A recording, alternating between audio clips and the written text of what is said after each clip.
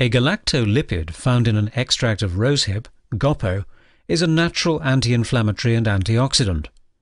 The present rosehip powder containing GOPO is clinically proven to reduce pain and inflammation in arthritis and may even help Crohn's disease sufferers.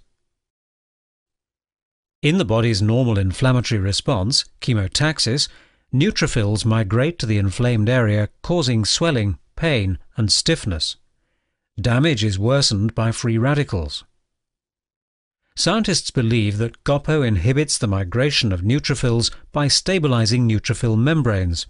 Inhibition levels in vitro are comparable to those seen with non-steroidal anti-inflammatory drugs. GOPO's antioxidant effects may further limit tissue damage.